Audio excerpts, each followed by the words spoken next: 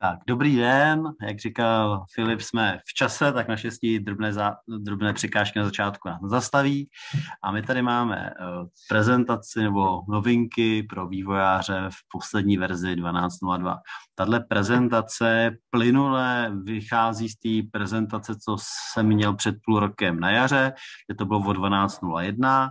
Není to v opakování, to znamená, kdyby někdo nestihl tu přednášku 12.01, tak si ji může stáhnout je to její vlastně struktura zachovaná a nějaké její doplnění dalšími informacemi, co se vlastně za, za tu dobu změnilo a co tam vlastně můžeme najít, co nám může pomoci. Ohledně toho, tak začneme opět tím, že vlastně i vývojáře by mohl zajímat nový klient, tak jsem vybral ty novinky, které mně přijdou osobně jako zajímavé, že by vlastně toho člověka měl používat. První věc je, bych připomněl, že ve 12 lednička přišla nová vlastně komponenta pro dokument vlastnosti, která se vlastně nazývá Advanced Document Advanced a je od, jak to vyslovuje, agenda společnosti. Nově tady je malinčká drobnost, že když vlastně vyberu si nějaká políčka, můžeme vlastně je kopírovat pod všechny zvolená políčka, to znamená jejich jména nebo jejich hodnoty a pak s nima kontrolové, vložit třeba do mailu, kamkoliv potřebujeme. Takový zjednodušení práce, když něco s někým komunikuji. Kromě tady toho bych v této prezentaci zmínil dvě věci, které jsem zjistil, že moc lidí nepoužívá a že třeba občas zmate. Tak to je o tom, že tato komponenta se chová jinak než standardní ten dialog vlastností dokumentů od HCL a to minimálně ve dvou aspektech. První věc je, že člověk je zvyklý u té standardní komponenty, že když si vyjede na konkrétní řádku, ten dokument v pohledu, a pak změní tu řádku, tak se mu ta komponenta přepočítá. Dokument vždycky drží to zaměření, kde jsem v tom pohledu. Tahle nová komponenta to defaultně nedělá a zobrazuje dokument, kde jsem byl, když jsem ji vyvolal. Pokud bych chtěl tu funkcionalitu, že se automaticky ten vnitřek eh, jakoby reaguje na to, jaká měním dokumenty v pohledu. Nesmím si dole, uh, nesmím si zapomenout dole zaškrtnout vol, volbu, která mi toto zajišťuje. Je první věc. A druhá věc je, že ta komponenta od HCL je vždycky jako singleton. Zavedím ji jednou. Nemůžu ji mít dvakrát, třikrát. Prostě jenom jednou a tu prostě vidím. Tahle komponenta už ty verze 12.01 může mít více instancí. To znamená, já si, každý, já si můžu každý dialog otevřít zvlášť, dát se vedle sebe a koukat na, na ně bych potřeboval. To znamená, každý dokument si můžu otevřít na jed, uh, zvlášť a mít si dialogy vedle sebe. Uh, další, co bych zmínil, a to taky bylo už ve 12.01, je možnost pracovat s profilmi dokumenty. Standardně tam je možnost čtení. To znamená, když jsem v databázi, mám oprávnění, vidím všechny profilové dokumenty, které tam jsou, takové ty standardní. Já můžu si zapnout přes Notes INI dvě vlastnosti, které mi přidají další schopnosti. První věc je, když půjdu od spoda, že vidím uh, uh, nejenom ty veřejné, a takový ty public profil dokumenty, ale vidím i ty uživatelské. To znamená, já vlastně vidím, já, kdybyste používali profil dokument přes takový ten klíč třeba username, tak vidím konkrétní ty jednotlivý ty dokumenty těch uživatelů a můžu se koukat, co v nich je. Zároveň si můžu zapnout možnost mazání. Častokrát třeba ten profil dokument je poškozený, můžu se ho chtít snažit smazat a tak dále. Standardně bez této komponenty si musím napsat nějaký job, agenta, který prostě ten profil načte a deletne ho na tvrdou databáze. Díky této komponentě vlastně já můžu si tady zapnout jenom Notes i hodnotu 1, v tu chvíli já prostě vidím delete tlačítko přímo v tom dialogu, uh, v tom dialogu práci s těma profilíma dokumentama, v tom Advanced Document Properties. Takže velmi šikovná věc pro administrátory i pro vývojáře, se mi umožňuje bez nějakého zbytečného programování mazat případně nějaké chybné poškozené věci, dokumenty. A další věc u toho klienta, co bych zmínil, je z pracovní plochy. Už o ní mluvil lehce uh, Petr Kunz. Vlastně ve 12.01 byla první velká změna. To vlastně ty, uh, ta plocha dělala, že byly vyvíjecí ikonky, bylo taky to ohraničení těch aplikací noucových a celý se nám to tak zvětšilo a překreslilo. Tady se to posunulo ještě trošku dál. Za mě subjektivně řečeno je to lepší. Chápu, že každý to se mu může líbit něco jiného. přes Notes parametr, teďka z nevím, který lze si nastavit, že si chci zachovat ten 12.01 a vzhled, že bych se mu vypreferoval tu 12.01, asi zachovám ta 12.02, tak jsou takový to se, ikonka je stejná, ale máme zase ohraničení, a tentokrát mi přibyl i jakoby tematicky, že můžu mít buď světlé nebo tmavé pozadí. To znamená, ve, v nastavení plochy mám dole pozadí a můžu si zvolit buď default, což je vlastně takový to šedý, nebo tmavý, to je tady vpravo, jak to vypadá, nebo jsem dát vlastní obrázek, který tam mám. Protože tím, že mám vlastní obrázky, tady mám pak nějakou volbu transparentnosti, tady dlaždice, abych vlastně si mohl říct, jak hodně chci transparentní a tedy vidět ten obrázek pod tím, a nebo opačně, že, že nebude transparentní a prostě bude tam ta dlaždice neprůhledná. Kromě tohohle tam můžu měnit barvičky, to znamená, každá ta ikonka má nějaký textíky, tady název aplikace a, a server, takže si můžu nastavit barvu, klasicky přes zase vlastnosti workspaceu. Kdybych chtěl i tučně, tak můžu, ale tentokrát musím jenom přes Notes eh, ini, to znamená tady v Notes ini si můžu vzít pro ty workspace text color, jestli dám RGB, čárka bold a mám to tučně. Uh, jakož je to čerstvá verze, tak uh, co jsem zatím vypozoroval, tak tady ta konfigurace funguje jenom, když je tam ten background default. Já třeba používám, mně se líbí ten default, uh, teda ten, ten dark mode a v tom dark modu tady ty volby nefungují a je to vlastně bílý ty texty. Teda to programování, co nám přináší z pohledu vývojáře. To znamená, jsem vývojář a chtěl bych vlastně přejít na 12.02, tak co mě tam čeká. Tak rozhodně bych to měl udělat už jenom kvůli týdle jediný věci. Dal by se říct, že po, myslím, že říkal 38 letech, máme první verzi uh, noucového vývojáře, je 64-bitový. Pokud tam byly jenom 32-bitový klienti, Eh, konečně tam 64-bitový klient, který umožňuje využívat prostě soudobou architekturu počítačů. Nepředpokládám, že by někdo měl 32-bitový 32 počítač, že vlastně konečně je to kompatibilní s tím vlastně, co máme pod tím jako v plném rozsahu. Mělo by to být samozřejmě výst k tomu, že to rychleji startuje, rychlejší práce za bázema, znamená, ten vývoj bude rychlejší, plynulejší. Dá se předpokládat, že když na tohle přejdete, tak stejně, když byl přechod třeba do Mino 32 bit na 64 bit, tak je potřeba si zkontrolovat, abych měl všechny rozšíření, co máte, všechny, já nevím, ODBC drivery, co můžete mít užitý designérovi, uh, jakýkoliv knihovny pro napojení na jakékoliv vaše externí systémy, měly být kompatibilní se 64-bitovým jakoby stekem znamená, pokud v ODBC driverech i ve Windowsech se rozlišují ODBC drivery pro 32-bitové aplikace a 64-bitové aplikace. Takže tady v tom případě je možný narazit při tomhle přechodu na tuhle v fouzovkách ne, nepříjemnost. Na druhou stranu, tím, že si povýšíte vaše interní knihovny na 64 bit, tak povýšíte na nějaký standard dnešní doby. Takže je to takový přechod, který může lehce zabolet, ale není to nic nepřekonatelného. Za mě ještě jediný, co bych řekl, zmínil, že bohužel tady je pořád Java 8, takže sice byla také vylepšena, je tam novější verze, ale pořád se držíme na Java 8, takže nějaké novinky v Javě 11 až také 17 long term support, tak to tady zatím není. Domino Restyle, o tom už mluvil Petr Kunz, tak to bych jenom zmínil, že pro mě tahle funkcionalita by měla být mimo vývojářská. To znamená, když jsem vývojář, tak tyhle věci můžu použít maximálně pro ochytření, to znamená, líbí se mi něco, jak to vypadá, tak to udělám, pak si otevřu tu aplikaci v designéru a podívám se, co se vlastně změnilo.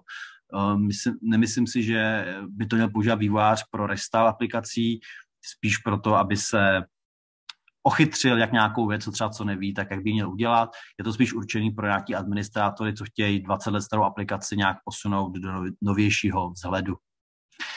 Co asi pro to vývojáře no, je velmi šikovný a potřebný, tak to je to, že se vlastně spojili knihovny a jovové třídy mezi agentama a Xpages aplikacema. Dříve to bylo oddělený, to znamená, že vlastně agenti měli jako vlastní sekci a Xpages měli vlastní sekci v designérovi. Mezi tím vlastně to nešlo nějakým způsobem sdílet. Když se na to podíváme dneska, tak no, doufejme, že se na to podíváme. A já vlastně dneska mám aplikaci, kde mám nějakou tady knihovnu, jsem dal úplně standardní knihovnu od na práci s textem. Dal jsem si sem do tohohle sekce JARS, to není nic zásadního, import, já mám ten vloženou. V dřívějších verzích 12.01 jsem s ním mohl pracovat pouze v rámci Xpages, jako případně nějakou vlastní třídu, co bych si vytvořil sem, tak jsem mohl pracovat pouze v Xpages. To znamená, kdybych měl pět agentů, co chtějí s tím pracovat, tak jsem musel nějak uměle vytvořit knihovnu Javovou, do ní to nějak vložit a tu nějak propovat s těma agentama, abych to mohl sdílet. Dneska to vlastně vložím na jedno místo, to znamená sem, otevřu si agenta, klasický Javový agent, tady v tom import není vůbec, nemusím nic použít, není nic přimapovaného, nic tady nemusím myslet, nic nemusím dělat. V momentě, kdy se ho otevřu a klasicky nějaký string util střídu bych chtěl použít, tak automaticky už i ta nápověda mi nabídne ten balíček Apache. No já ho můžu použít a tady a, udělá se mi vlastně automatický import a nabídnou se mi všechny potřebné tři, co tady jsou, bez toho, abych nějak musel někam připojovat a myslet na to a nějak s tím pracovat. Samozřejmě má to i tu výhodu, že třeba, když teď budu pracovat s nějakým balíčkem a mám a použiju nějakou standardní třídu a budu ji používat a pak zjistím, že tam nějaká bezpečnostní chyba, tak na jednom místě tady to nahradím a vlastně ta změna se mi promít, že třeba dám mezi 3 na 13, 3, 13, 0, tady nahradím ten balíček, ono se mi to projeví ve všech agentech a ve, ve všech Xpages aplikacích, co používám.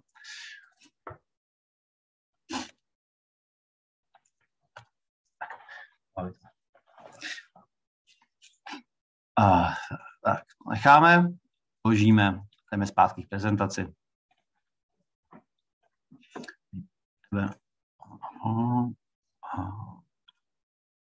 A tak, to jsem přesně nechtěl. A ještě jednou obrázek. A jinak doporučuji obecně vždycky nepsat si vlastní věci. Když se tuhle vývoje, nedělat si iluzi, že to napíšete lépe než něco, co používá jiných tisíce vývojářů, typicky balíčky od Apache, od Google, typicky balíčky od testovaný 10 tisíci vývojáři, že ty věci, co tam mají, mají odladěný, je tam velký portfolio pomocných tříd, pomocných metod a věcí, které bez žádného úsilí jsou, jsou zdarma dostupné a můžu vám pomoci ulehčit tu vaší práci. Další vylepšení, co se tady týkají, to jsou čistě pro Xpages, tak eh, je tady nová verze CK editoru, to je takový ten rich text editor na, na webu. Eh, tahle verze řeší eh, nějaké chyby, které i reportoval kolega tady ze stolu Martin Přádný. Se to už i otestoval a odsouhlasil, že ty chyby jsou opravené, takže kdo používá ty standardní komponenty vlastně od X, z Xpages, tak tady vlastně nová verze mu přenese opravy, které se můžou hodit. Soubor těch problémů, který jste mohli mít tady v tom článku. Další věc je, že se lze už nově pracovat i za, uh, za Xpages se file a uh, souborovými přílohama, které jsou v zašifrovaných políčkách, případně jsou nějaké výhody a novinky v uploadování souborů, více vlastností. Kdo to používá, se může podívat a případně se ochytřit. Výváře toho nejčastějšího, což je pořád v České republice ten lotoskriptový vývojář, tady máme dvě novinky, tohle je první z nich, a to je o tom, že vlastnosti eh, v debugru jsou eh, třídění alfanumericky. To znamená, není to tak, že dřív to bylo, že to bylo různě přeházený, teď když člověk více hledá, tak to prostě najde v abecedním pořádku.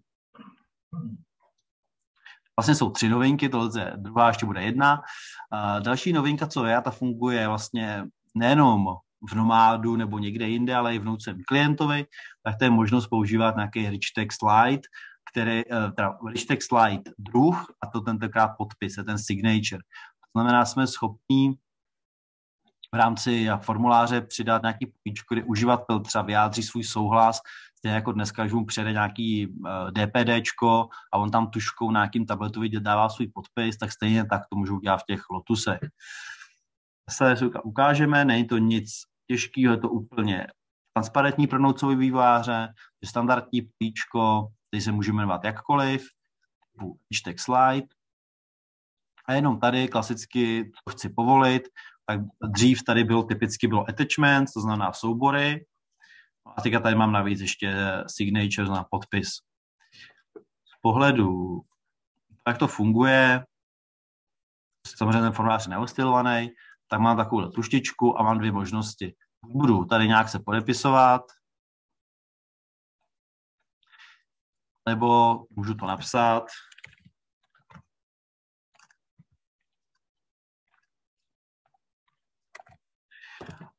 Potvrzení mi, mi vloží do toho políčka tu příslušnou část, to znamená, co tam bylo zadané. To se uloží do toho textu, mám to tam uložený a můžu s tím, mám tam jako podpis toho člověka. Stejně jako říkám pro ty lidi, to dá vzít, jako když v DPDčku podepisou taky ty tablety a tyhle věci. Ohledně, ta třetí věc, ohledně noucového výváře v tom klasickém formulářem a Lotusky světě je možnost šifrování databází. To znamená, dříve to šifrování databáze bylo pouze eh, vlastností na databázi, to znamená, dal jsem vlastnost databáze, zvolil jsem nějaké šifrování, nechal jsem to za, za, zašifrovat. Dneska to můžu ovládat programově. To znamená, mám tam v podstatě tři metody, čtyři metody, eh, čtyři.